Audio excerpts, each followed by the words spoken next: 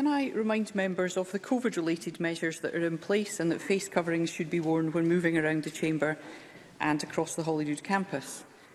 The next item of business is a statement by Kate Forbes on Scottish Budget 2022 to 2023. The Cabinet Secretary will take questions at the end of her statement and so there should be no interventions or interruptions. And I call on Kate Forbes, Cabinet Secretary. Thank you, Presiding Officer. Today's budget will help tackle the climate emergency, support economic recovery and reduce inequalities. It comes at a crucial moment for Scotland. It's the first budget of this parliamentary term and it's also the first budget of this partnership government developed in cooperation with the Scottish Green Party. It delivers on key commitments made in the Butte House Agreement from free bus travel for young people to doubling the Scottish Child Payment. And as a result of that partnership, This budget redoubles our efforts to meet our emission reduction targets in a fair and just way that creates economic opportunities, harnessing opportunities for green jobs, for prosperity and for greater well-being.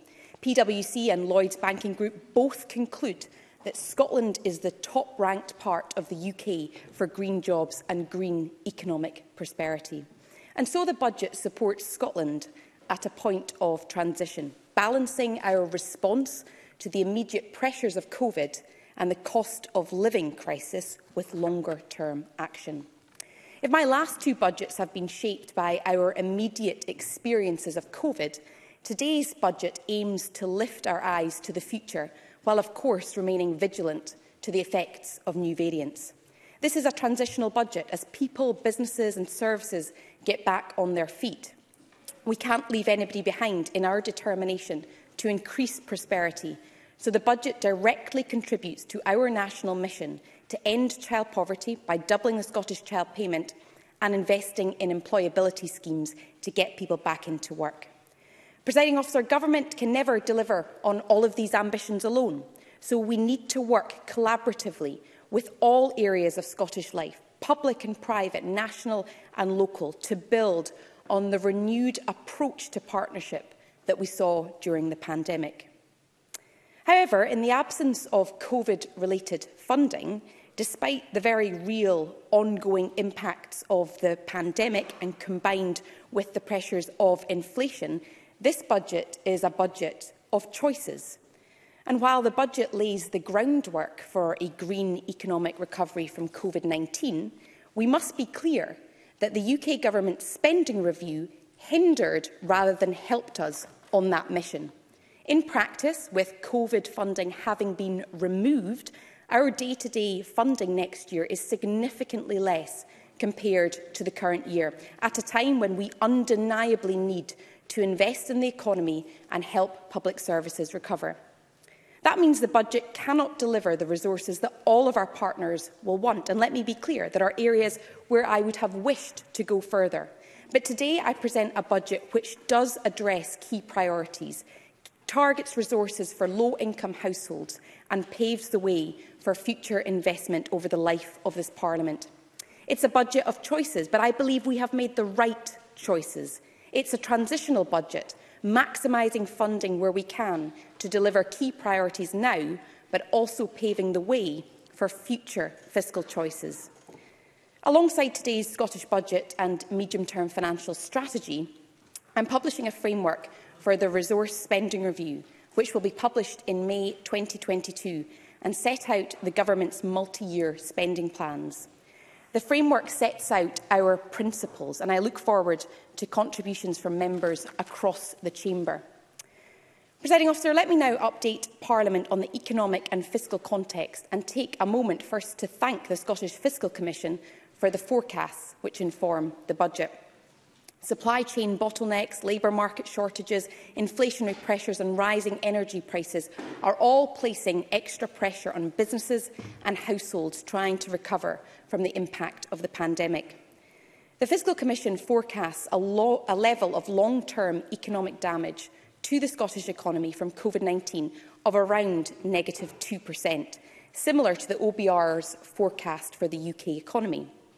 This means the long-term impact of Brexit on the economy will be worse than that caused by COVID-19, with the OBR attributing a 4% long-term reduction in living standards due to the UK's exit from the EU. The impact of Brexit has not been felt equally across the UK. Latest figures from the ONS show that Northern Ireland is the only part of the UK where the economy has recovered nearly to pre-pandemic levels. That's not surprising, given that Northern Ireland has, in effect, remained in the EU's single market for goods due to the Northern Irish Protocol. While all other parts of the UK have seen a negative impact as a result of Brexit, the scale of that is three times higher in Scotland than in London. We said that Brexit would be bad for Scotland, that it would have a differential impact on our economy, And as is clear, it is, which is having a direct impact on our budget. Be under no illusion, the budget I'm presenting today is smaller than it would have been if it wasn't for the impact of Brexit on our economy, a Brexit that has been imposed on Scotland against the express wish of the people that live here.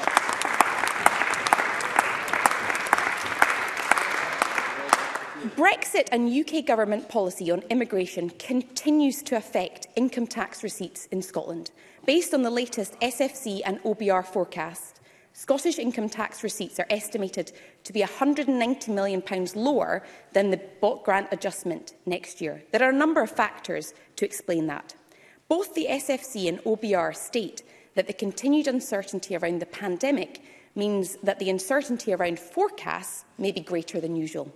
The final position on the performance of income tax revenues next year will only be known once outturn data is published in 2024. Strong earnings growth in London and the South East, particularly among the highest earners, means that our budget is reduced even while earnings grow in Scotland. That issue is accounted for in the Welsh fiscal framework, but not in ours, and we're clear that it must form part of the upcoming fiscal framework review rising inequality in England should not see Scotland's budget reduced. But ultimately, without full control over economic policy and immigration, which the UK government refuses to give us, we don't have full powers to mitigate the effects of Brexit, to secure a green economic recovery from the pandemic, and to raise the revenues that our public services need. Despite all of that, there are reasons for optimism in the Scottish economy. The, Scot Fiscal Commission now forecast our economy will recover to pre-pandemic levels by April to June 2022, almost two years earlier than forecast at the previous Scottish budget in January.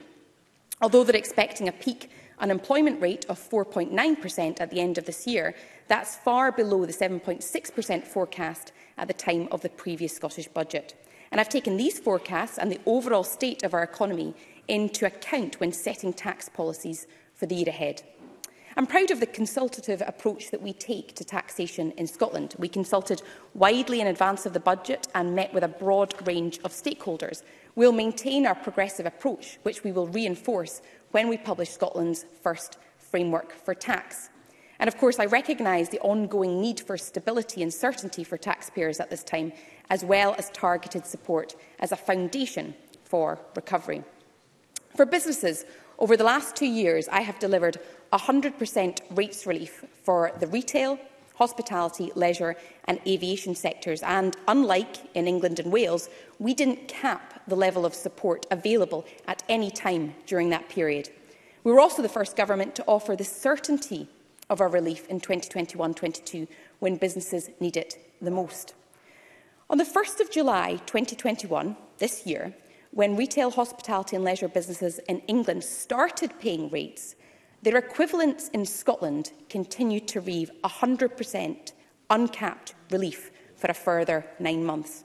Those decisions, along with our unprecedented decision to cut the poundage at the peak of the pandemic, have saved businesses in Scotland around £1.6 billion pounds through the rate system alone since the 1st of April 2020.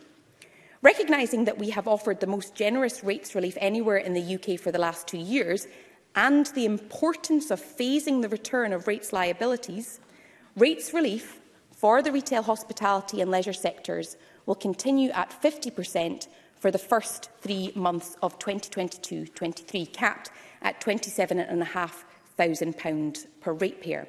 That will prevent a cliff edge for businesses in those sectors. I will also continue to offer the lowest non-domestic rates poundage in the UK at 49.8 pence, delivering a below inflation uplift for the fourth year in a row, in addition to having the UK's most competitive package of annual reliefs worth £745 million. I have heard the calls to support small businesses in particular and our high streets. A small business with a rateable value of less than £15,000 on a Scottish high street will continue to pay no rates for the entirety of next year, irrespective of what sector they are in through the Small Business Bonus Scheme.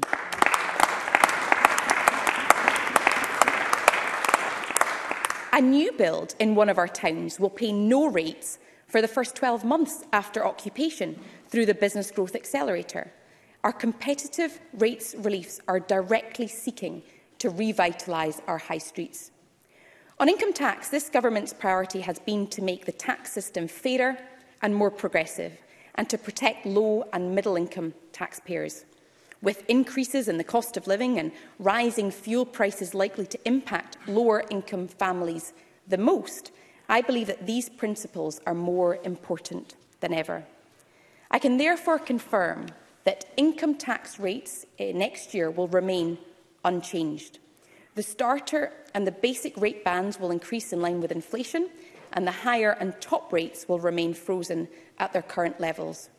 Our progressive income tax policy means the majority of Scottish taxpayers will continue to pay less income tax than if they lived elsewhere in the UK, while those who earn more will pay more. It maintains spending power in households who need our support the most yet also raises crucial revenues for our public services from those who can most afford it.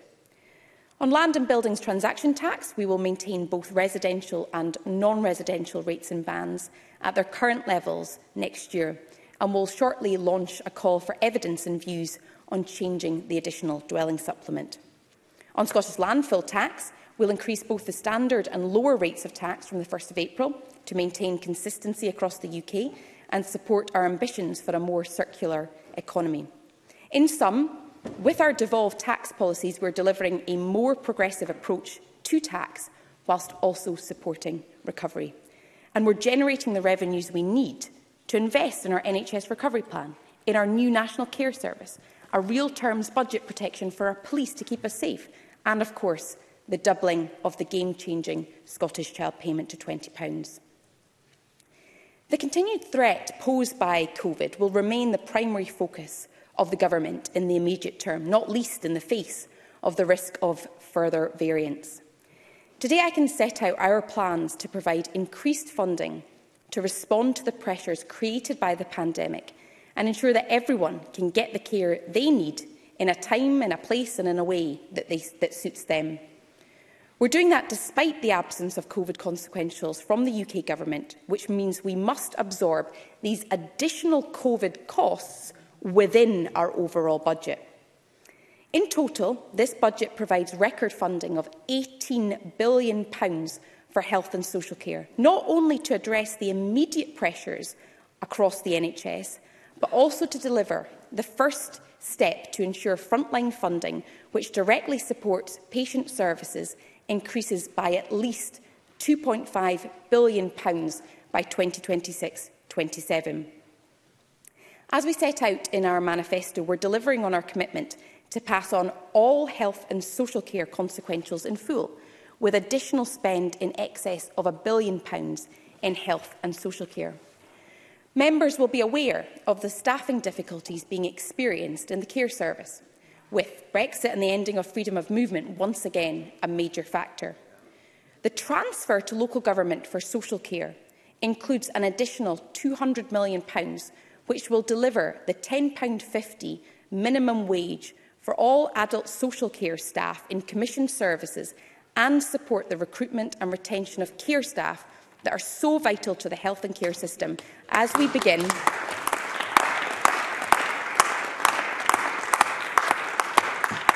as we begin the process of creating a new national care service over the course of this Parliament.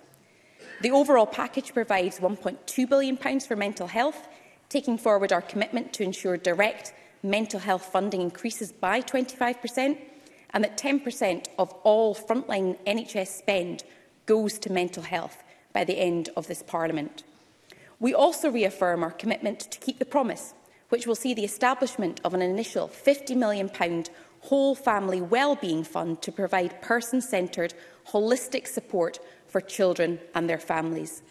That funding will build during this session as capacity and capability for transformational change builds in the sector. The budget also deepens our partnership with local government. It delivers a settlement for local government that recognises the leadership role that councils play in their communities and their part in delivering a national recovery. It provides increased resources for social care and education, ensuring the continued delivery of vital local services across Scotland, while working to increase the fiscal autonomy and power of local government and put more say over how local budgets are raised in local hands. That includes record increased investment in teacher recruitment, supporting the recruitment of at least 3,500 teachers and 500 classroom assistants over this Parliament. Presiding officer, Presiding officer, my investment plans for public services and action across portfolios are directed by three priority themes. Tackling inequalities, supporting Scotland's economy and ending Scotland's contribution to climate change. And so the budget backs our national mission to tackle child poverty and to make Scotland truly a land of opportunity for everybody. The most immediate and direct way to tackle poverty is by putting more money into the pockets of people who need it most, ensuring a decent standard of living, particularly for children. This budget invests in increasing family incomes, driving down the cost of living, It provides £200 million for the Scottish Attainment Challenge, the next instalment of our commitment to provide a billion pounds over this Parliament to tackle the poverty-related attainment gap. Over £4 billion across social security and welfare payments, providing vital support for low-income families, carers and disabled people, including £1.95 billion to start delivery of the adult disability payment next year. £41 million for the Scottish Welfare Fund, helping people in times of crisis, £80.2 million in discretionary housing payments, £110 million to provide free bus travel for young people from January, putting more money in their pockets and encouraging more use of public transport. It includes over £72 million for the continued expansion of free school meals, providing lunches for all children in P1 to 5 and special schools and supporting the infrastructure required to roll out lunches to all primary children. It includes £544 million to deliver free funded early learning and childcare for three and four-year-olds and two-year-olds for low, from lower income households, while taking forward work to expand that to one-year-olds from low income households within this Parliament and, presiding officer, 831 million pounds for affordable housing, progressing our commitment to deliver 110,000 affordable, energy-efficient homes across the next decade, leveraging private sector investment and supporting employment in the construction sector.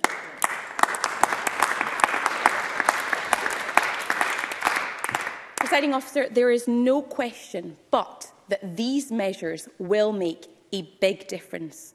But we can and must do more. I know that there's consensus in this Parliament for greater action to tackle child poverty. And it's right that government stretches every sinew to do so. And that means we have to make hard choices elsewhere in the budget where necessary. We do so in order to fund the most ambitious anti-poverty measures anywhere in the UK and to respond to the UK Government's decision to scrap the 20 pound uplift to universal credit. This budget delivers not just on the pledge in the programme for government to double the Scottish Child payment to £20 per week, but, as the First Minister announced last week, we will bring forward that commitment to April 2022. Presiding officer, that is nearly £200 million in next year's budget going directly to lift children across Scotland out of poverty.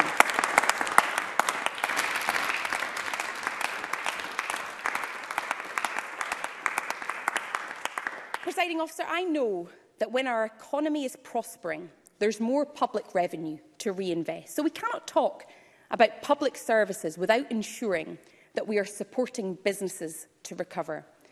And this budget invests in Scotland's ambition of being a well-being economy, an economy that enables successful and profitable business activity, entrepreneurship and innovation, but is also environmentally sustainable and supports all parts of Scotland to thrive. We know that the biggest challenges facing businesses right now are labour shortages, rising costs and inflationary pressures.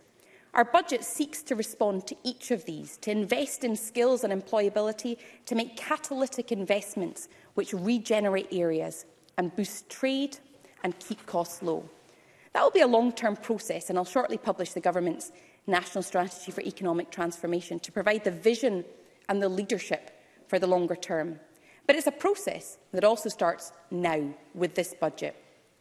Because today's budget provides over £205 million in capitalisation for the Scottish National Investment Bank, helping it deliver against its missions of supporting Scotland's transition to net zero, building communities and promoting equality and harnessing innovation. Scotland's geographical diversity is one of our great economic strengths. I can confirm investment of £51 million in rural services and islands, including activities linked to the National Islands Plan and introducing a new Islands Bond Fund. There are few challenges as acute as labour shortages, and so we will invest over £225 million in Skills Development Scotland to support a range of national training interventions.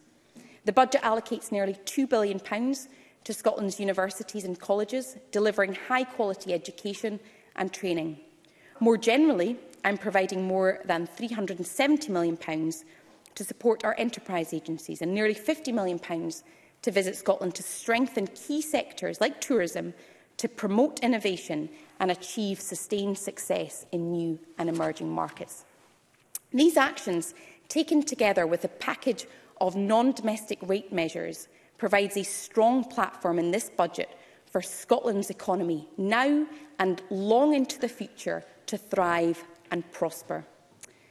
Presenting officer, I turn now to the climate crisis, which is also an enormous economic opportunity for Scotland. Our hosting of COP26 showcased what we're already doing in Scotland and the depth of commitment that exists to go further.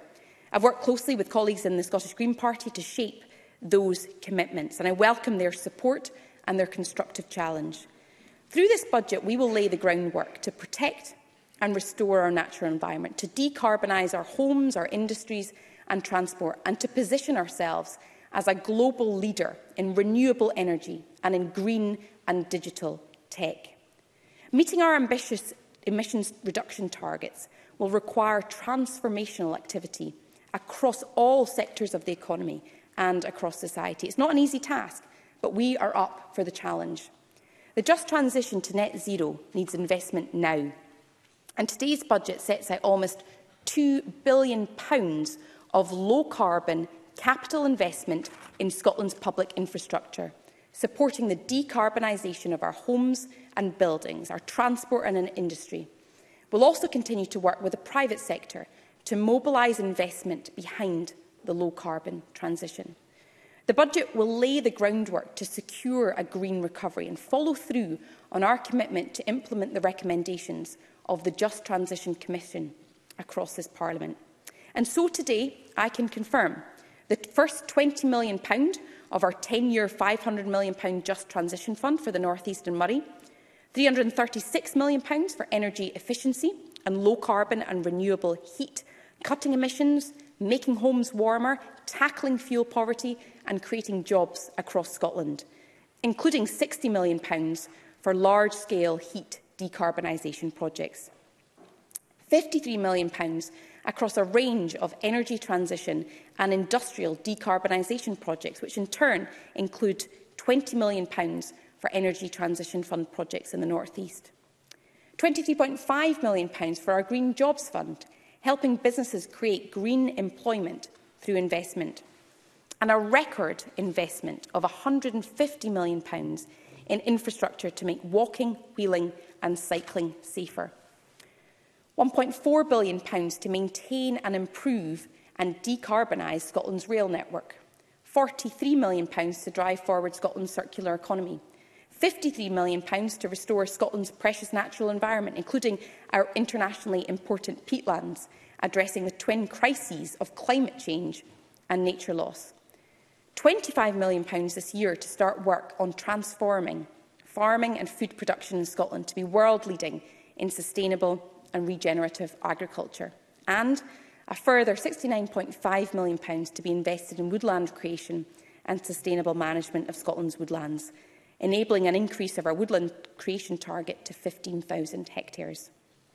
Climate change requires global action, driven by local and national commitments, to ensure we deliver the changes needed. And today's budget demonstrates that that commitment exists here. Let no one be in any doubt this government, working in partnership with the Scottish Greens, is absolutely committed to meeting our statutory climate change targets and delivering the net zero society we not only want but need to see. Presiding officer, I want to lastly turn to the issue of pay. The principle of fair work is a cornerstone of this government's economic approach, and I've placed that principle at the centre of my decisions about public sector pay. I recognise the challenges presented by inflation and rising living costs, and also the huge effort that the public sector has made in responding to the pandemic. Our pay policy for next year therefore focuses on those on low incomes, continuing our progressive approach and guaranteeing an inflationary uplift of at least £775 to those earning up to £25,000, £700 to those earning between £25,000 and £40,000, and £500 to those earning above £40,000. In October, the Government announced an uplift in pay for social care workers to £10.02 per hour. Today, presiding officer, I can announce a minimum wage floor of £10.50 per hour across all bodies covered by the pay policy, with specific funding to apply this for adult social care staff.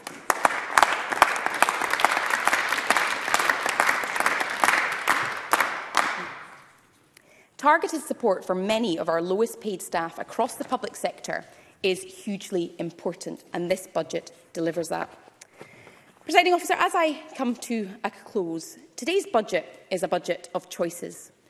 And we have chosen to tackle child poverty, to invest in the transition to net zero and to boost economic prosperity. It delivers on our manifesto promises, more teachers, more funding for our police and record investment in our health and social care service as we stand united against the impacts of COVID-19. It's a budget for households facing a cost of living crisis, targeting resources at low-income families and making bold choices to address the devastating impact of child poverty. It's a budget for our businesses and our workers, with further financial support for enterprises now and a clear plan to achieve longer-term prosperity. And it's a budget for a net-zero future that once again shows Scotland leading from the front in the defining mission of our generation – And, Presiding Officer, I commend this budget to Parliament and to the people of Scotland.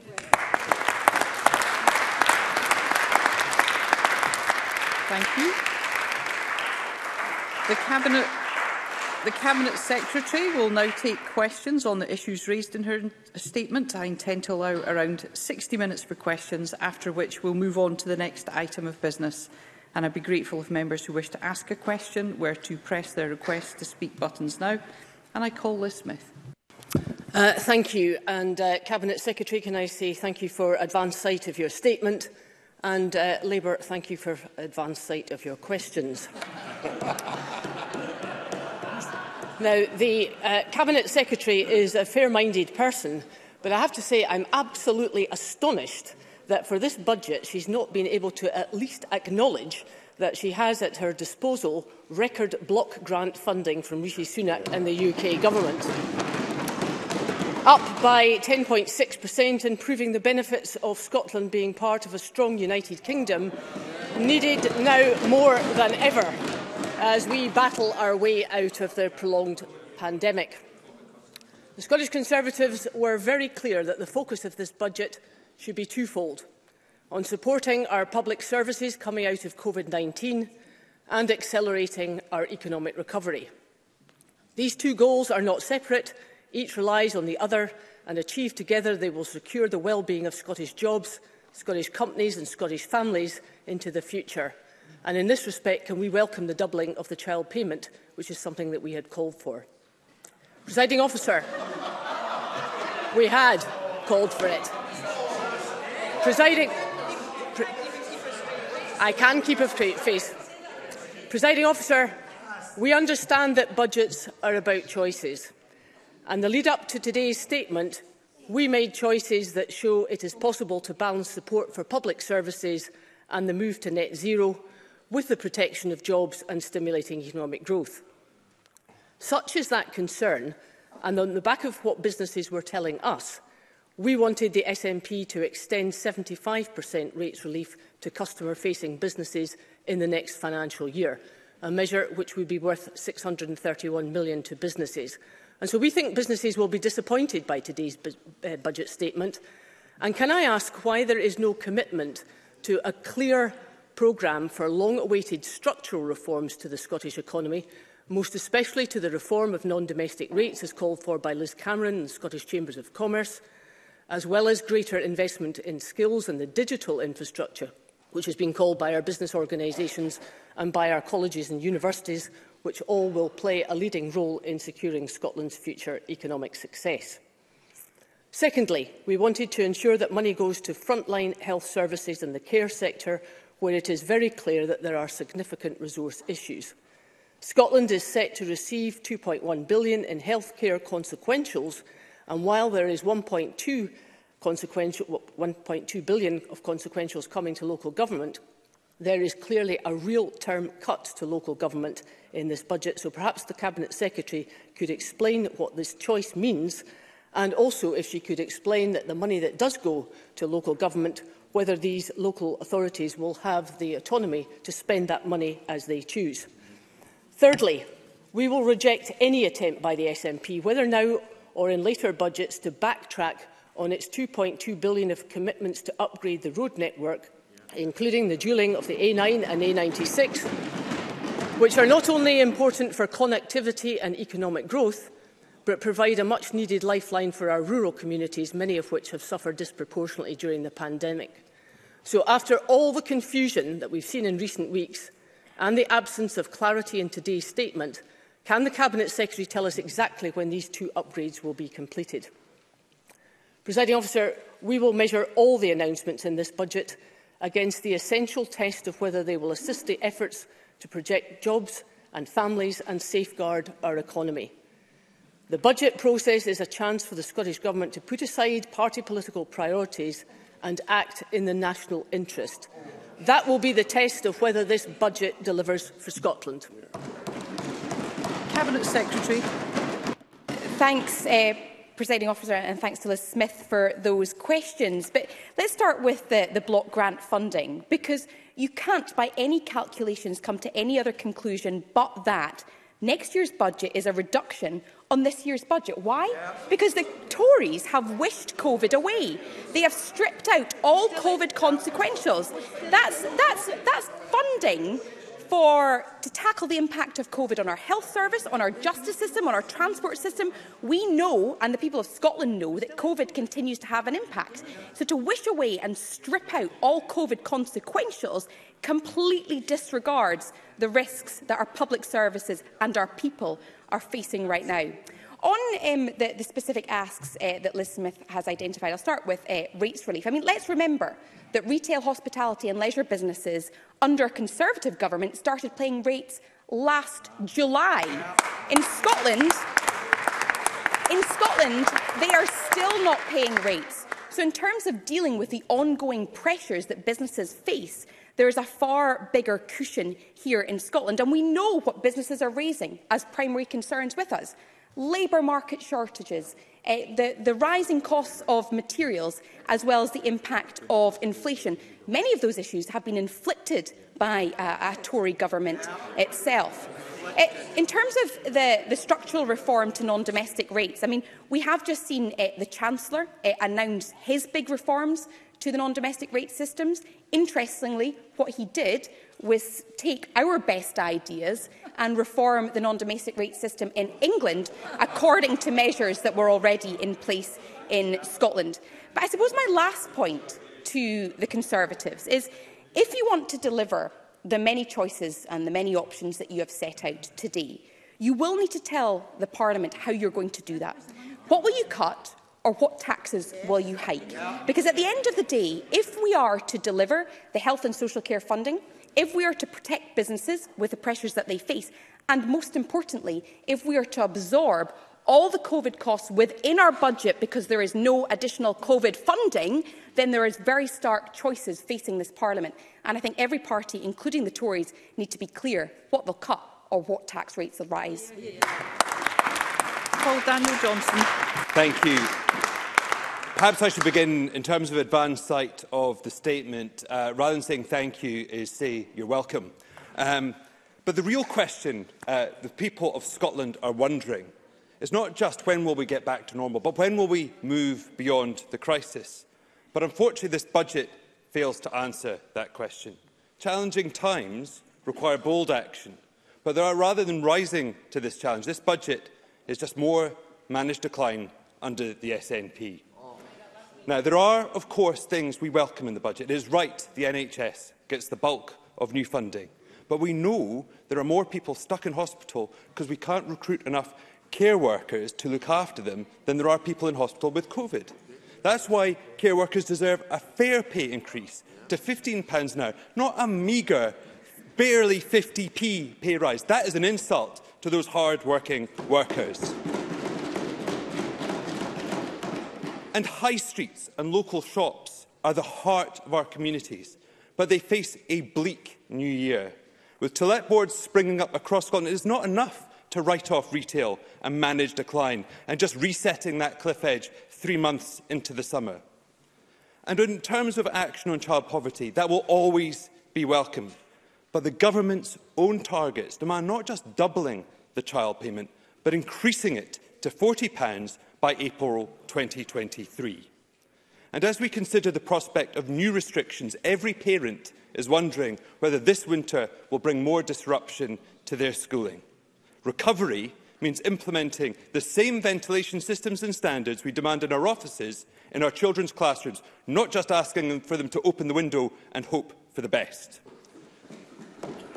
Over recent weeks, the Cabinet Secretary, and indeed has repeated today, dampened, she's attempted to dampen expectations, claiming she has no money. But this is not true. The block grant this year will increase by 3.9 billion, pounds, 7.7% in real terms. That is the largest increase in the block grant since uh, 2001. So the Cabinet Secretary has choices to use these funds to be bold, to deliver recovery, or continue SNP-managed decline. And Scottish Labour make no apologies for pushing her to be bold, to make recovery real, not just a political posture or a name check. So let me ask the Cabinet Secretary, how is she going to entice more people into social care work uh, uh when she's only offering 48 pence increase on their wages, just 0.6% above inflation? And how many retail businesses does she think will go to the wall three months uh, after uh, the new financial year begins? And indeed, how many uh, businesses pay rates at all if their rateable value is below 15,000? And finally, how far short of the government's own uh, child poverty targets will they be at the end of the next financial year?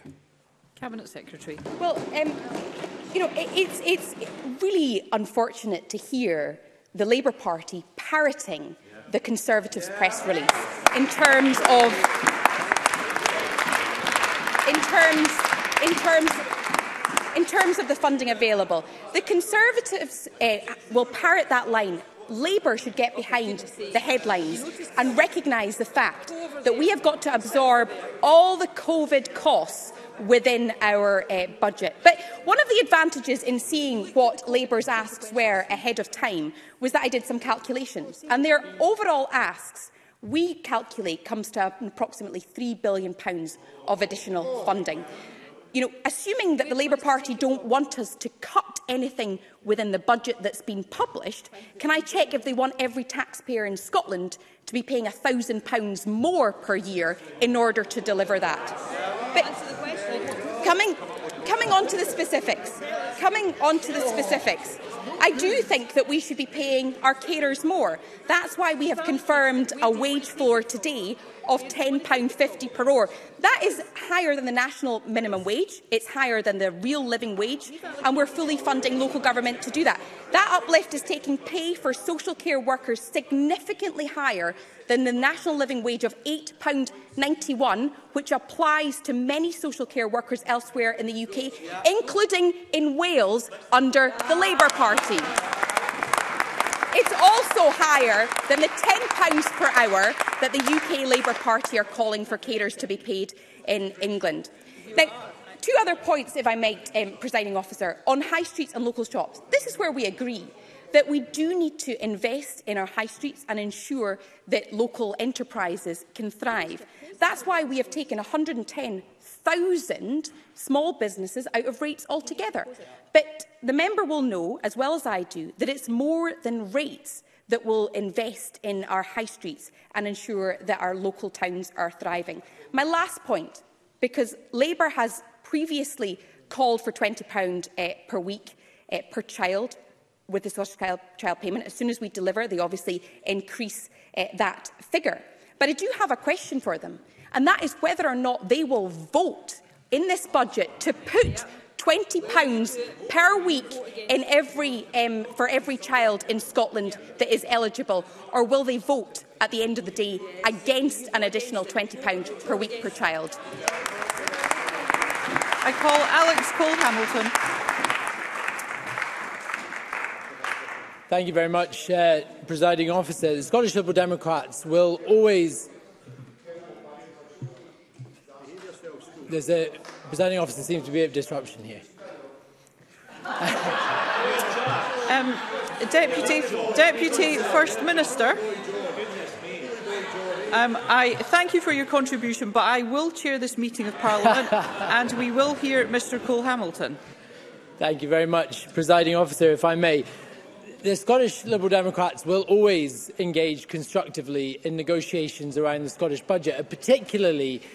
in a year when the budget carries such importance. We did last year. It's why, with an additional £120 million pounds afforded to mental ill health, we backed the Scottish Government's budget before the election. But we're going to need to do a lot more on mental ill health, given the hidden pandemic of mental ill health that has been caused by COVID-19. It is a, a dismay to our party, presiding officer, that we are witnessing in this budget a real terms pay cut to teachers, nurses and many thousands of public sector workers in the face also of a, a rise to national insurance contributions and rising costs of living. I also agree with Labour that the derisory pay increase offered to social care staff is not going to be the transformational injection that we need to make this a profession of choice and attract people into the profession. Presiding officer, the Cabinet Secretary for Finance describes this as a budget of choices. Yet it is concerning that she has, on page 103, chosen to put preparations before uh, another independence referendum Yet nowhere in the pages of the budget document does she make reference to the 100,000 people in Scotland currently suffering from long COVID. It is a, a, an event that has been characterised as perhaps being the biggest mass disabling event since the First World War, and yet those 100,000 Scots are nowhere in the pages of this document. So can I ask the Cabinet Secretary for Finance, is this an oversight?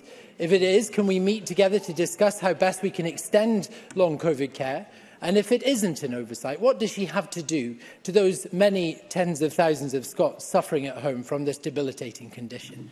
Cabinet Secretary. Well, um, on the contrary, I think the pay policy that we've set out today is progressive, it's fair, and it focuses our um, efforts on the lowest paid. And can I remind the member again that we did that last year without any co consequential funding because the UK government froze the majority of uh, salaries under the public sector pay policy. And again, this year, we're still slightly in the dark about what they're going to do. So despite that, we have moved ahead to ensure that our public sector pay policy is affordable and it is fair. In terms of uh, long uh, COVID, he'll know that we've, we've published um, our approach paper to set out 16 commitments to improve care and support for people with long COVID in Scotland, backed by £10 million long eh, COVID eh, support fund. And in terms of the, the, document with record spending on health and social care, we will ensure that as part of that £18 billion pounds, that there is a focus on people um, uh, who are suffering from long COVID, which is a hugely uh, important issue. I suppose I'd make my last point to the Lib Dems, same point I've made to other parties, which is I've allocated every penny on the face of the budget. Right. I have done that having absorbed all the ongoing COVID costs within the reducing budget compared with last year. And therefore, if we are going to increase any budget line, my question is how? Where does it come from and how do we fund it? Because at the moment, every penny is accounted for. I call Kenneth Gibson to be followed by Murdo Fraser was Kenneth Gibson to be called by Murdo Fraser.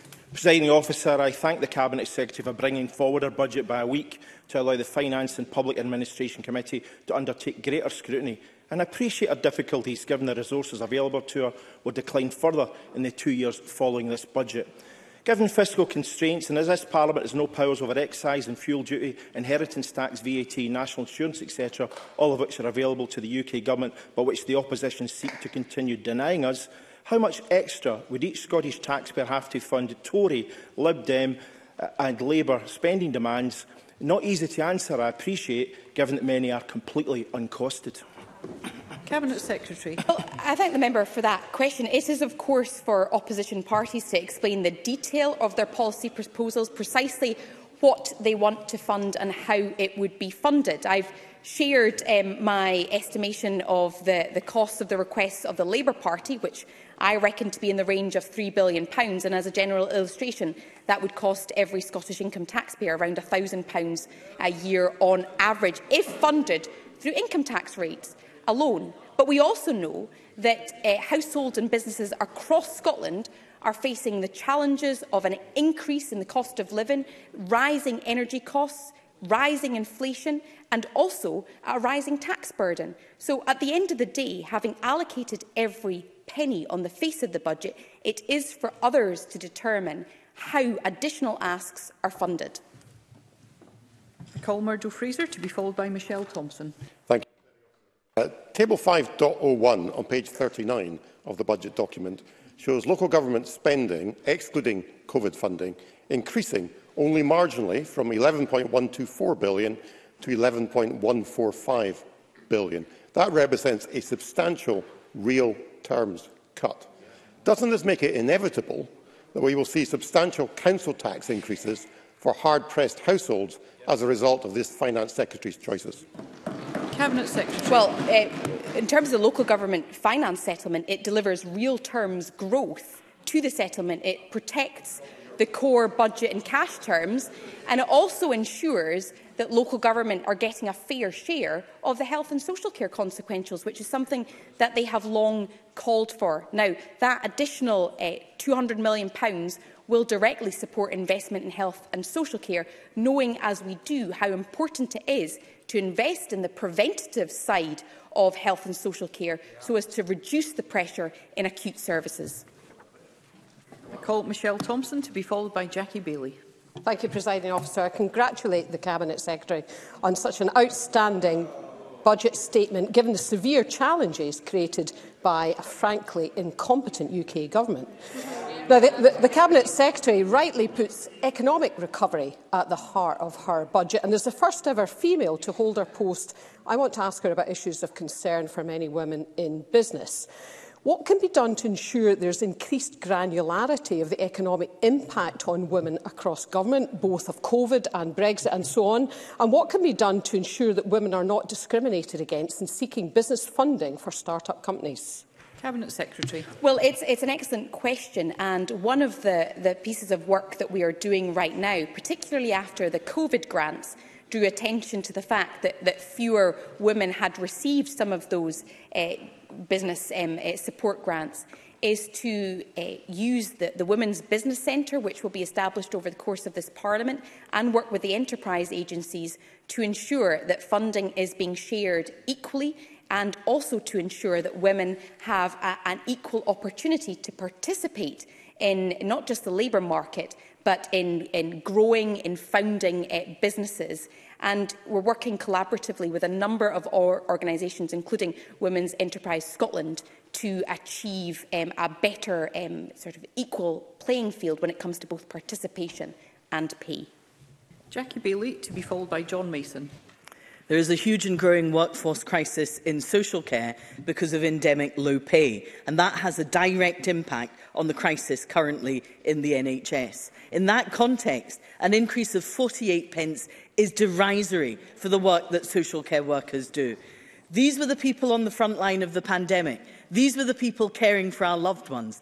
These were the people who we clapped for every Thursday evening. So why have the SNP and the Greens, who put this in their manifesto, not listened to the trade unions, the social care employers and those who receive care? that there needs to be an uplift immediately of £12 per hour from next year. This is the second budget in a row that we have asked for this. It's costed, it's affordable without raising a single penny in income tax. Or is the truth that the SNP and the Greens simply do not believe that social care workers are worth it? Cabinet Secretary. Jackie Bailey will know that it has been costed and what the Labour Party have been calling for is £15 per hour, which will cost £1.8 billion.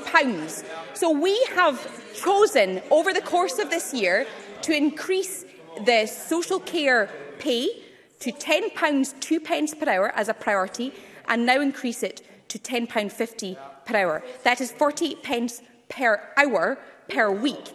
towards uh, social care uh, workers. It is a priority that we have. It is higher than the national minimum wage. It is higher than the real living wage because we believe in the importance of our carers, not just as part of ensuring that the health service can continue with the challenges it faces, but also to ensure that we recognise and value the work that our social care workers do.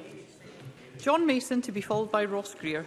Thank you. I think the Cabinet Secretary knows that the Finance Committee has been keen that we move to more preventative spending. So if we take something like health and social care, can she say anything about how much of the budget will be considered preventative spending and if there's been any change over recent years? Cabinet Secretary.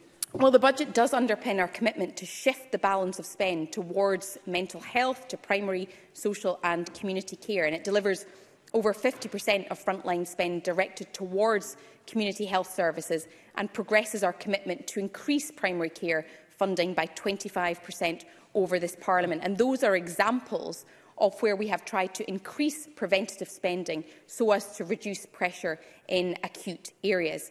Um, 1.6 billion pounds investment in social care and integration lays the groundwork for a national care service, and there are other examples that I can point to where we have tried to shift uh, the balance of spend. Ross Greer, to be followed by Christine Graham. Eh, thank you. This budget is historic for a number of reasons, including the fact that it's the first to be co-produced by a Green Party anywhere in the UK. Despite the challenges of the pandemic, inflation and cuts from Westminster's Tory government, it prioritises tackling child poverty and the climate emergency. For example, there's record investment in making homes and buildings warmer and easier to heat, lifting families out of fuel poverty and reducing emissions. And it will fund the first full year of free bus travel for everyone under 22.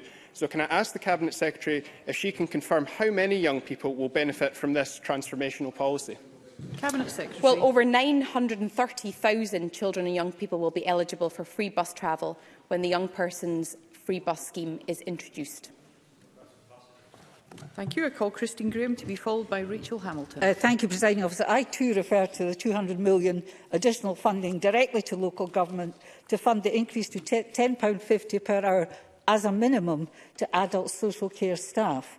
That, for me, is to be welcomed, but I think to increase recruitment, we have to look beyond that to there being career progression for those in the care sector. Can I ask if that will form part of the consideration of the National Care Service? It, it will certainly form part of the consideration of the National Care Service, but we're not waiting until the National Care Service to start that work right now. And I've talked about the £200 million directly for pay, but there are other initiatives that we are directly funding to increase capacity, for example, £25 million to, um, for, for social work capacity, £50 million of investment to progress fair work, £40 million of investment in multidisciplinary teams, and £5 million as well to support the right to respite for unpaid carers. So it's a much bigger picture of our investment in social care over and above our commitments to increase uh, adult social care staffing call Rachel Hamilton to be followed by Neil Gray. Uh, thank you. Presiding officer, this is not a green budget for farmers. It's not a net zero budget for the future of agricultural transformation. The SNP Green Coalition of cuts have slashed the Agricultural Transformation Fund from 45 million to 25 million per annum. Cuts that will affect reducing emission targets, agricultural productivity and transforming food and farming production. Cabinet Secretary, Why are you cutting this vital agri-environmental funding for hard-working farmers who are part of the solution to net zero? Cabinet well, Secretary. I think farmers right now are actually asking what kind of confirmation and commitment they have to replacement of EU funding for the agricultural sector here in Scotland. What we have set out when it comes to um, eh, investment in uh, farming and in agriculture more generally is continued support, but also support to help farmers and crofters and those that work in the agriculture sector to transition to net zero. We know it's not going to be simple and straightforward and easy, and quite clearly there is investment in this budget to support uh, farmers to do that. Call Neil Gray to be followed by Michael Mara. Thank you, Presiding Officer. I want to commend the Finance Secretary uh, eh, in what has been a challenging budget for prioritising uh, child poverty, our greatest area of preventative spend, and the way she is engaged on the issue. In particular, can she outline the, her estimate of the impact of the £200 million doubling of the Scottish Child Payment will have on child poverty in Scotland and to what extent that will mitigate against the disgraceful cut of £20 per week to universal credit that's been made by the Tory UK government. Cabinet Secretary.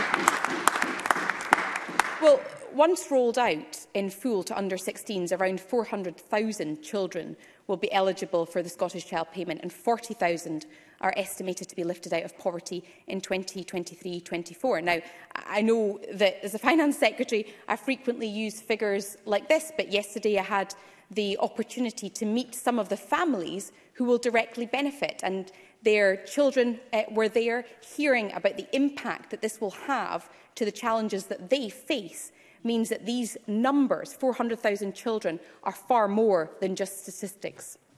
Michael Mara to be followed by Rona Mackay. Thank you, President Officer. There is nothing in this budget to keep schools safe and open. Nothing at all on vital ventilation. There's nothing in this budget to help when schools close. No action on those promised laptops and nothing to make good the losses already suffered. This is badged as a budget for everyone, but it cuts 12% from the Scottish Attainment Challenge, meaning cuts to staff working with the poorest pupils. The nine poorest communities will see that funding cut by 60% by the end of this Parliament. It isn't really for everyone, is it? Cabinet Secretary. Well, on the contrary, can I make a point um, that somewhat agrees with the premise of Michael Mara's question? And that is that the ongoing impact of COVID which is very real in our schools and in our education system, has had to be absorbed within our overall budget because there are no COVID consequentials for those issues. However, having said that, we have prioritised spending on our schools. We are making the biggest increase in funding to support teacher recruitment since 2007. We have funding in this budget of over 75, 70 eh, million pounds for P4 P5 and special school lunches. There's £15 million in this budget towards providing a digital device to every school-aged child. So we are focused on ensuring that our teachers and our schools have the resources that they need within a very challenging budget. Rona Mackay to be followed by Douglas Lumsden.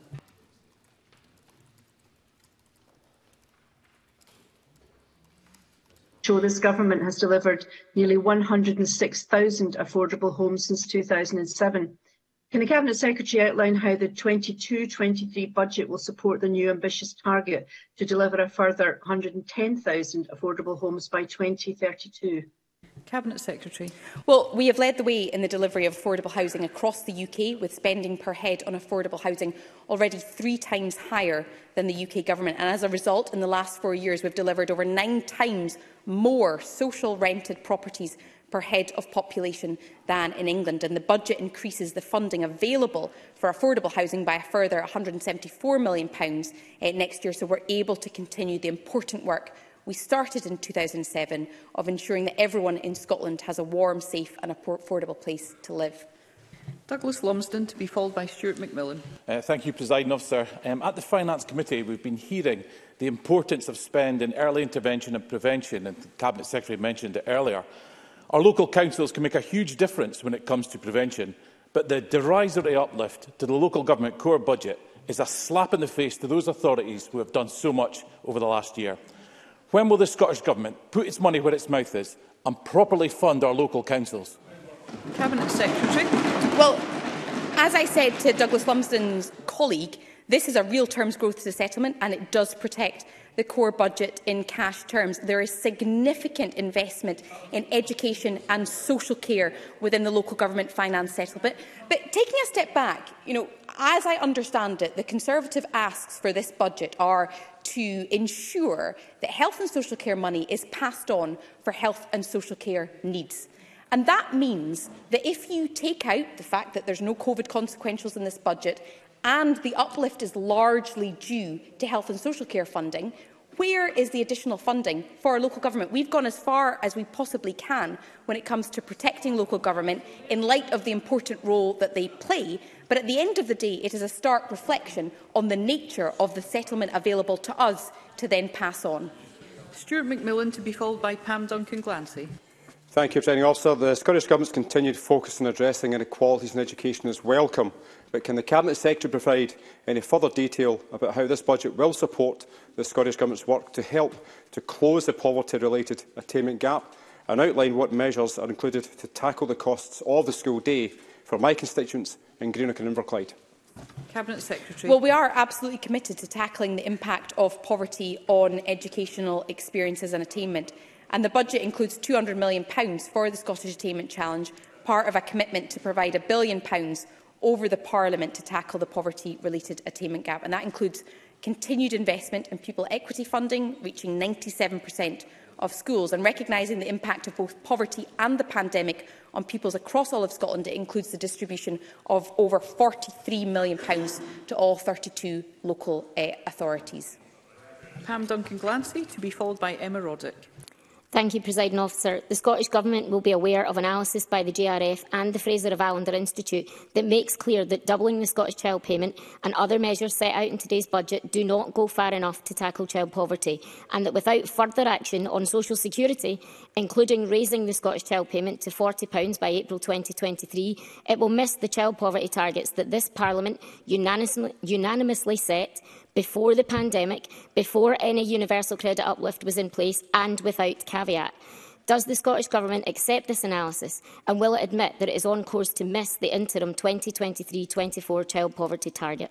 Cabinet Secretary. Well, in terms of the, the member's uh, question, I think she's right to see that it needs to be a multifaceted approach. So the Scottish Child Payment in isolation will not in and of itself um, ensure that we meet the Scottish Child uh, tar uh, uh, poverty targets. We need to take a, a much rounder look at how to do that. That includes uh, continued investment, for example, in uh, employability schemes to help parents um, and ensure that they are paid uh, the real living wage. It includes a reduction of the cost of the school day, including rolling out free school meals, including uh, ensuring that we are supporting uh, children, uh, whether it's through uh, the, the uniform uh, grants or otherwise. So there is a much bigger picture here of the action that we are taking.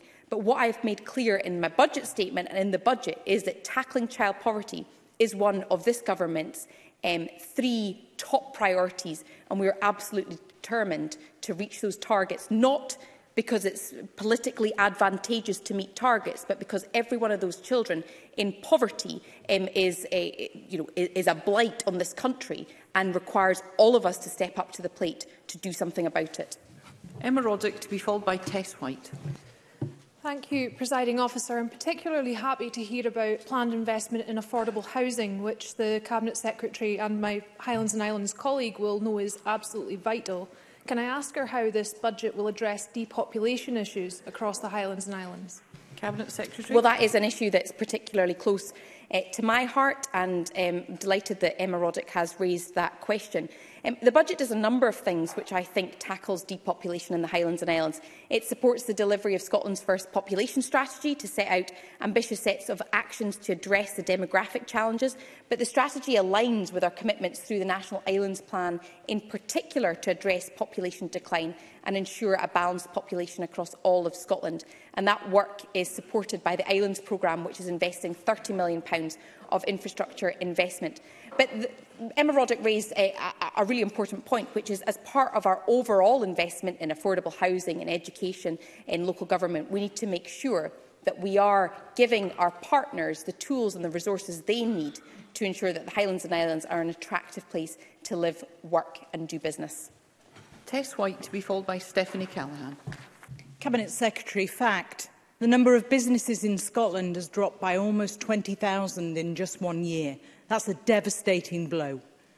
Does the Scottish Government accept that it needs to do much more to help businesses and particularly SMEs improve their digital capabilities and also significantly expand the support provided for upskilling and reskilling as the Federation of Small Businesses has called for. Cabinet Secretary. Well, it's nice to agree, but yes, I do agree on the fact that we need to invest in digital capability in particular, and uh, the member may be aware of our commitment to uh, invest in the recommendations of the Logan Review, for example, in helping businesses to access uh, digitalisation um, and to uh, improve the tech capabilities of their um, business. And we have set out commitments of £100 million to invest, for example, through um, the, the Digital Boost scheme. I think to provide support to small businesses, which are the backbone of our economy and certainly the backbone of our uh, villages and our towns, we do need to give them the resources they need um, and to understand the pressures uh, that they face. And I think continuing, for example, the small business bonus scheme also reduces the costs so that they can reinvest in some of these capabilities. And in terms of upskilling, because I missed that part, um, yes, I do agree. So the National Transition Training Fund, for example, has tried to cater to specific requests and requirements within sectors rather than to be a blanket scheme so that it can be of better use, for example, to the tourism industry.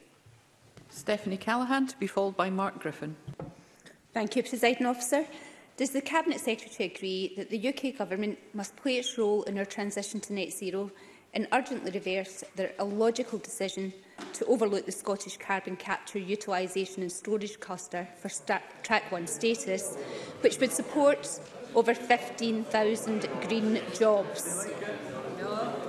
I'm not wholly convinced as to that question's relevance to this statement. Cabinet Secretary, if you want to reply in a sentence, very, very briefly. I believe that as energy policy is reserved, we do need to see the UK government investing in Scotland and it's important that that is done alongside the investment that we are making through our budget. Well I call Mark Griffin to be followed by Emma Harper. Thank you, President Officer. In real terms, another £137 million is gone from local bin collections, fixing potholes, keeping libraries open and cutting grass. When will our, will our towns and cities ever get the resources they need to recover and grow after the pandemic and after over a decade of SNP cuts to our communities? Cabinet Secretary. Well, in terms of our investment in local government, I've set out already, but I'm happy to set out again that this is a real terms growth to the overall settlement and includes protection for the core budget in cash terms. I could go through uh, the list of areas where we're investing in partnership with local government, particularly in health and social care, which uh, is one of the biggest pressures facing local government, alongside education. But ultimately, the, the budget as it is, we, I've tried to push as far as I can to uh, protect local government budgets, and that is what this budget delivers. Emma Harper, to be followed by Jamie Halcrow-Johnston. I just want to pick up on agriculture also. The Cabinet Secretary mentioned 25 million for sustainable and regenerative agriculture in her statement. Can the Cabinet Secretary provide further information as to how this will be allocated to help support farming and food production in Scotland so that it is world leading as sustainability and a regenerative agricultural approach? Cabinet Secretary? Well, over the next three years, the Scottish Government has committed £51 million to a national test programme that will enable our farmers and land managers to be better able to contribute to our climate targets and biodiversity goals. And the industry is already leading the way, and there are countless examples of regenerative practices already underway. Our commitment in this budget is to uh, start that process, and as the member said, there is uh, 25 million pounds included to transform how farming and food production is supported in Scotland. Jamie Halker-Johnston to be followed by Bob Doris. The Cabinet Secretary has spoken today about the need to invest to rebuild our economy, but as she will know, infrastructure issues across Scotland and particularly in the Highlands and Islands remain a barrier to growth. So given she didn't answer the question from my colleague Liz Smith, can she confirm the funding outlined in this draft budget will ensure that dueling programmes for the A9 and the A96 are back on track by the end of the budget period and that the Scottish Government will deliver both dueling schemes in full as promised. Cabinet Secretary. Burr will know that, um, perhaps like himself, I use that A9 at least twice a week, every week. so if anybody knows the importance of delivering on dueling, it's me.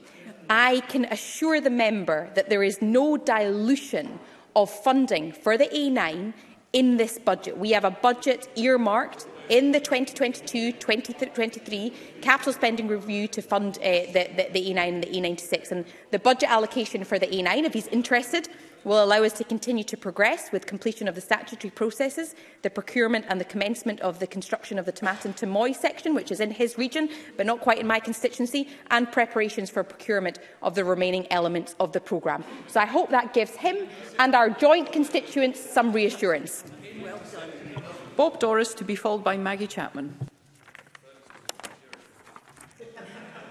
Can I ask the Finance Secretary how this budget will support the introduction of new benefits in the next financial year, including the rollout of the adult disability payment and the new low-income winter heating assistance to hundreds of thousands of Scots? Cabinet Secretary. Social Security Scotland is already successfully delivering 11 benefits, seven of which are brand new and is getting to ready to deliver several more. Low-income winter heating assistance will launch in winter 2022 and will provide support around 400,000 low-income households with a £50 payment every year through an investment of around £21 million. Uh, next year, we'll launch the Adult Disability Payment, our largest and most technically complex benefit to date, providing disabled people with a fundamentally different experience when applying for and receiving the support that they are entitled to. Maggie Chapman, to be followed by Jenny Minto. Thank you. With one in four children in, in Scotland in poverty and with pressing concerns of pa pandemic fallout and the cruel actions of the UK government, eradicating child poverty in Scotland is a moral obligation. That is why the Scottish Greens have been clear that the Scottish child payment should be doubled as soon as possible, and I am pleased that we are delivering this from April. It will make a real difference to those who are struggling most, alongside the commitments on paying Question, and investment please. in a just transition. Can the Cabinet Secretary confirm how many children are eligible for the Scottish Child Payment Uplift and, importantly, how will the Government ensure that all those who are entitled to benefit? Cabinet Secretary? Well, as the member said, once uh, the, the Scottish Child Payment is hugely important and once rolled out in full to under-16s, we estimate that around 400,000 children will be eligible for uh, that payment and 40,000 are estimated to be lifted out of poverty in 2023-24. Um, the Scottish Child Payment is the most ambitious child poverty reduction measure in the UK and of course we are working um, with other measures too in order to reach our targets on child poverty. Jenny Minto to be followed by Graham Simpson. Thank you, Presiding Officer. The Cabinet Secretary may be aware that I'm holding a members' debate next week to highlight the importance of access to defibrillators in communities across Scotland access to defibrillators could play a significant role in improving outcomes in out-of-hospital uh, cardiac arrests across Scotland. However, for some communities, the cost of purchasing defibrillators and ongoing materials continues to be ba a barrier. Whilst VAT on defibrillators continues to be a matter that is reserved to the United Kingdom Government, Would the Cabinet Secretary agree that this would be one such area where the Scottish Budget could go further if we had the full fiscal levers at our disposal to support community access to this life-saving equipment? Cabinet Secretary. Well, I, I commend the member for raising the important issue about defibrillators and also the fact that she's having a debate next week. And perhaps it's an issue that we could raise, um, and I'd always be open to, to, to writing to my counterparts in the UK Government about some of the issues that she has identified. Graham Simpson to be followed by Eleanor Whittam. Thank you. Can I press the Cabinet Secretary on roads again? Um, there's a slight increase in the total budget for motorways and trunk roads, only slight, but the road improvement budget has been cut. So can she once again have a stab uh, at uh, this question. Will the A96 under this budget be fully duelled? Is there money for that? Well, we have set out in this budget, um, budget uh, to in continue investing in our roads, including the A9 and the A96. So in terms of uh, the progress on the A96, the allocation of funding for the A96 will allow us to continue to take forward the review of the A96 in 2021-22, progress the preparation stages for duelling between Inverness and Nairn, along with a bypass of uh, Nairn. We're committed to improving the A96 corridor to improve connectivity between the surrounding towns and address safety and environmental issues. There is, uh, there is funding in the budget for road improvement, which includes the A9 and the A96. I'm not sure how to be more blunt about the issue. Thank you. I call Eleanor Whittam to be followed by Liam Kerr. Can I refer members to my register of interests? I am a serving councillor at East Ayrshire.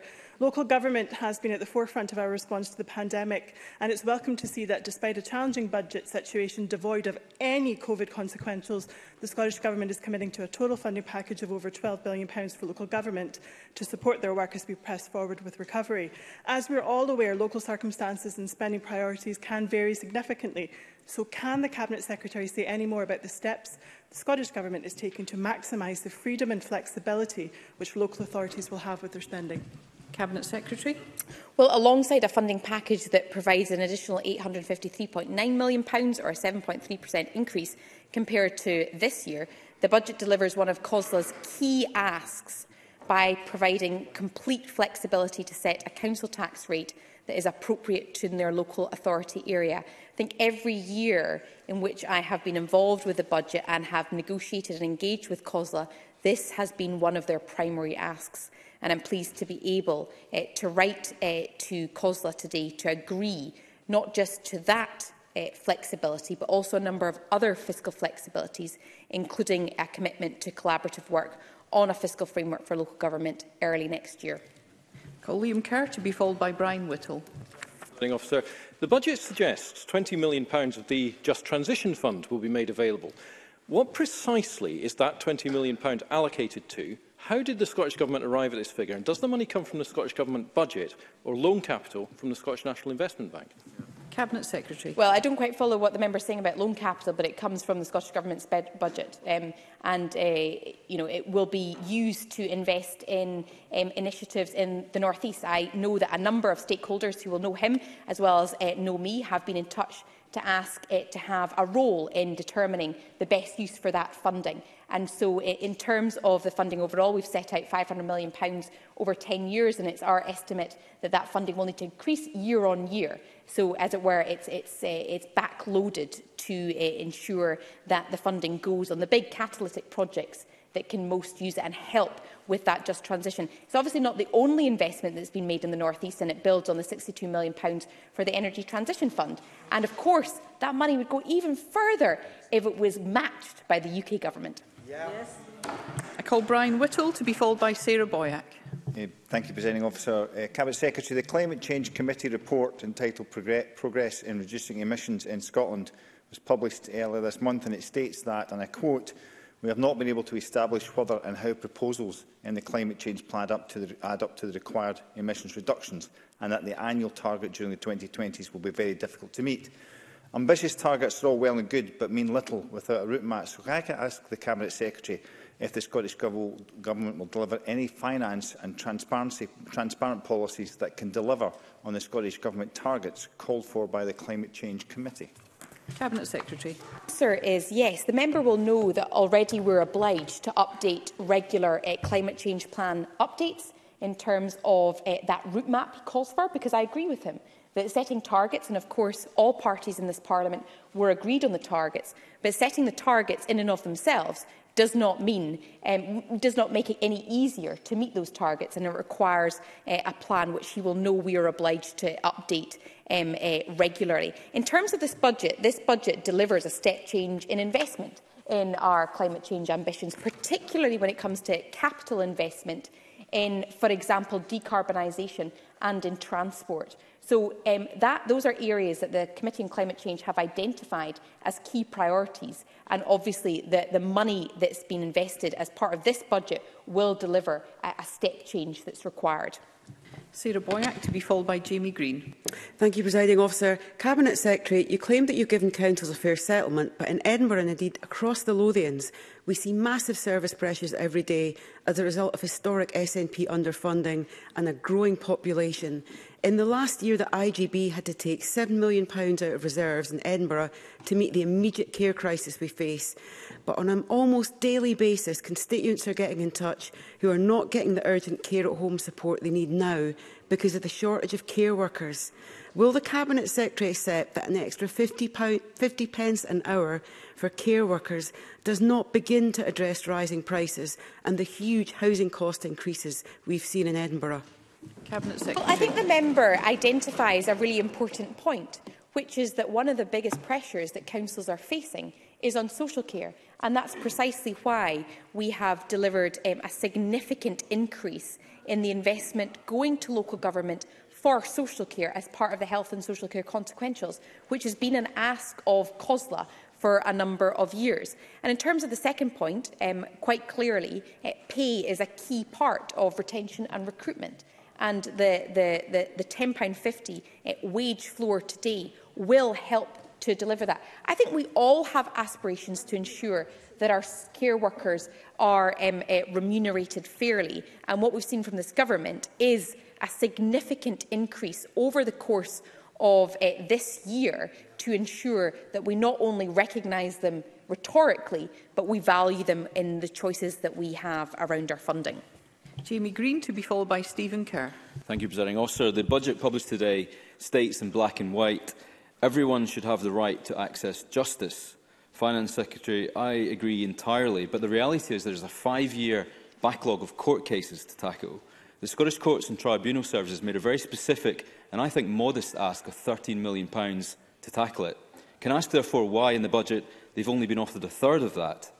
And how on earth is such a massive shortfall going to help them deliver the true access to justice that victims of crime deserve? Cabinet Secretary. Um, well, as, as politely as possible, can I suggest that that 13 million uh, is in the budget? If I heard him correctly, um, we have significantly increased not only the justice portfolio, but also the Crown Office and Procurator Fiscal Service uh, uh, funding that's required in order to deal with that backlog. So there is a significant increase in the spending on justice to try and reduce that backlog. But can I make the same point that I've made already this afternoon, which is that those additional COVID costs, the, either the cost of mitigating COVID or tackling the impact of COVID,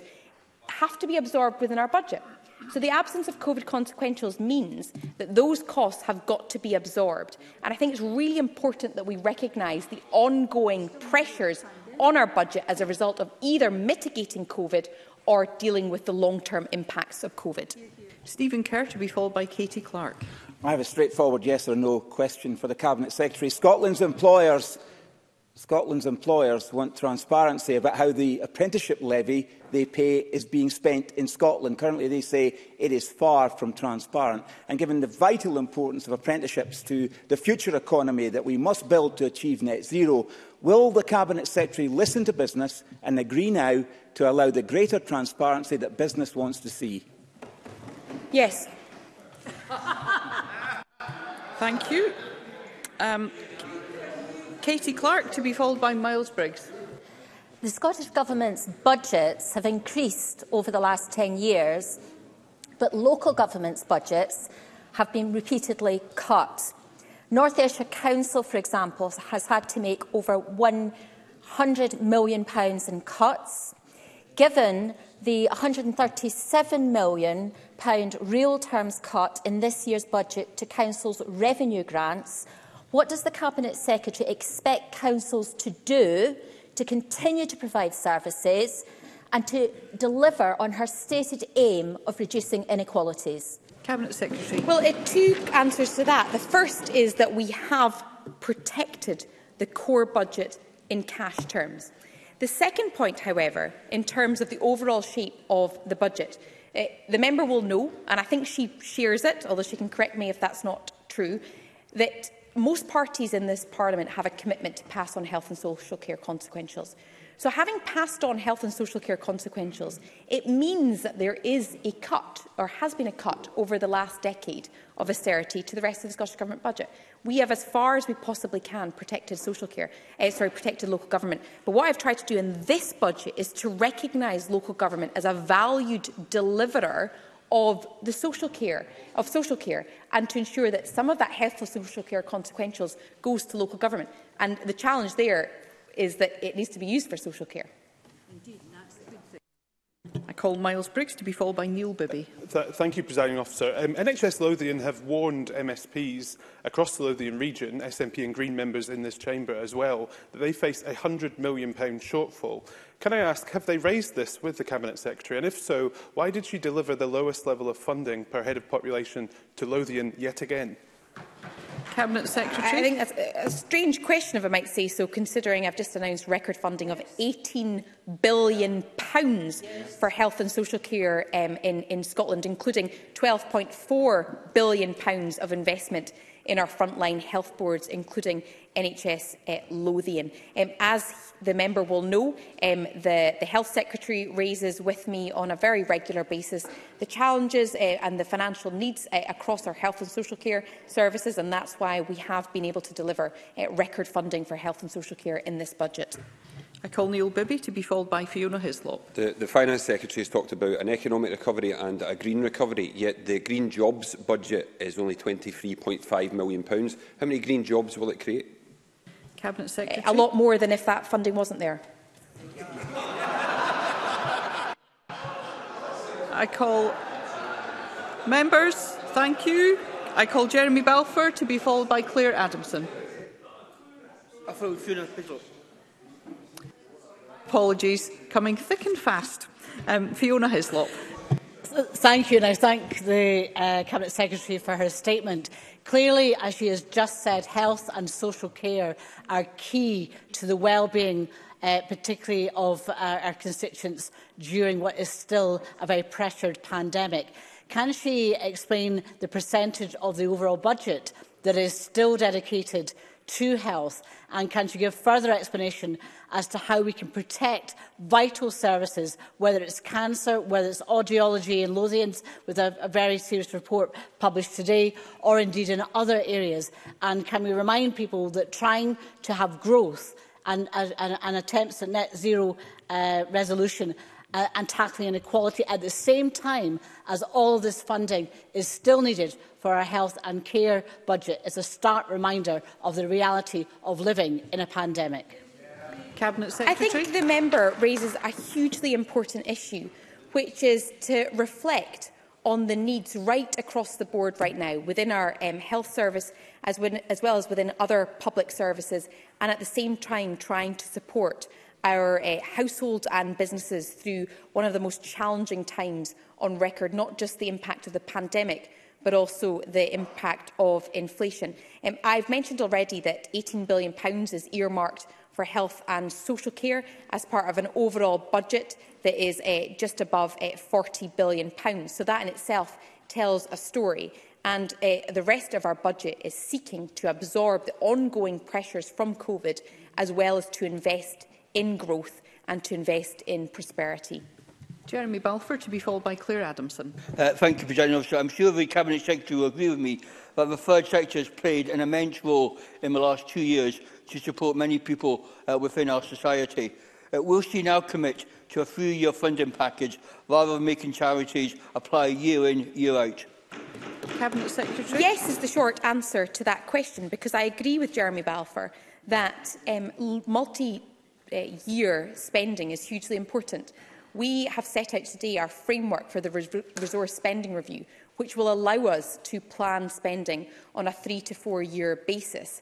And I intend to consult with a number of stakeholders, including uh, the third sector and uh, uh, other public bodies, to ensure that the final framework, final resource spending review that's published gives them that reassurance of their multi-year position. Claire Adamson to be followed by Craig Hoy. Thank you, Presiding Officer. Cabinet Secretary, we find ourselves in a situation where we have an unclear path ahead in terms of the internal market and also the TCA in terms of um, our voice as a, a parliament and also the voice of the government uh, being heard in negotiations. How will the increase in the international and European relations budget ensure that Scotland's voice is heard and that we have a, a say in the future of Europe and the future of policy making that will affect our devolved responsibilities. well, not... I think it's really important, both from a... Uh, can I, can I just be... Sorry, just... just um, yes, I just want to, to um, remind members of the importance of, of questions and relevance to this afternoon's statement. Thank you, Cabinet Secretary. Um, well, I mean, in terms of the, the budget itself, I think it's hugely important for our economic prosperity that we continue to keep trading links alive with countries around the world, not just um, countries within the European Union. And we have, of course, a, an ambitious export plan which relies on those strong links. Uh, a lot of exporters in Scotland, particularly smaller exporters, have struggled as a result of the additional red tape uh, due to Brexit. So keeping those links alive are hugely important. And that, of course, requires both the, the soft diplomacy of um, governments speaking to one another as well as business-to-business -business links. Craig Hoy to be followed by Paul O'Kane. Officer, the budget allocates £350 million to decarbonise the heating of 1 million, home, 1 million homes and 50,000 non-domestic buildings by 2030. That's about £330 per building. I'm, I'm aware of a hotel which recently decarbonised and it cost around £800,000. So does the Finance Secretary seriously propose that £330 per building about the cost of a new Hoover is enough uh, to uh, see that process through. Cabinet Secretary. um, uh, you know, I think, I think the member raises quite an important point. I uh, think the, the member raises an important point around the costs of decarbonisation. And one of the points that I'm very committed to is how we leverage private sector investment as part of our ambitions. I think all of us are clear that public sector investment in isolation will not be able to, on its own merits, get us to our, our net zero targets um, or to decarbonise at the rate that we need to. So we need to work collaboratively with the private sector to leverage in um, some of that funding to make sure that the public sector funding goes as far as possible. My impression is that most businesses want to do the right thing and it's up to us to try and make it easier for them. Public sector funding will help, but it won't take us all the way. Paul O'Kane to be followed by Fulton McGregor. Thank you, Presiding Officer. Yesterday, many of us attended a protest outside this Parliament with our trade unions and listened to the testimony of workers who have been on the front line across the pandemic. In Scotland, many of them were care workers, and they will be interested in this debate today in terms of the pay rise that they are being given by this government. What does the Cabinet Secretary have to say to those workers after she has sat here and offered them a derisory 48 pence an hour pay rise? She was very fond, along with all other ministers and MSPs, and clapping care workers last year. Now they sit and they clap a 48p pay rise. That is unacceptable. And what does she have to say to those workers? Well, this is the second pay rise um, in uh, several months because we value the important work that our carers do. And the fact that we are committing today to go beyond the national uh, living wage, the, the, the, the real living wage, and ensure that carers are paid for their labours um, is, is the reason that we have set out this public sector wage floor of £10.50 per hour, which we are fully funding. So what would I say to them? I would say to them that we couldn't have got through the pandemic without you. We enormously value the work that you do, and we are matching our rhetoric with our commitment in this budget to invest in a £10.50 per hour wage increase. And Hulton McGregor. Uh, yeah, th thank you, President Austin. Can I put on record my thanks to the Cabinet Secretary for the ground child poverty measures that she's announced today, and I don't think there's MD in this chamber should should be voting against that come budget time. And, I, and on that basis, I want to ask about um, school uniforms. The Cabinet Secretary will be aware that I've done a bit of work pushing for these to be more affordable. I wonder if she could comment how that was taken into the decisions around the budget and what, what more local authorities will now be able to do, because there's loads of con uh, constituents I've got that can't afford a £300 hoover. They need to get their school uniforms. Cabinet Secretary. um, Presiding officer, it's a, it's a hugely important question.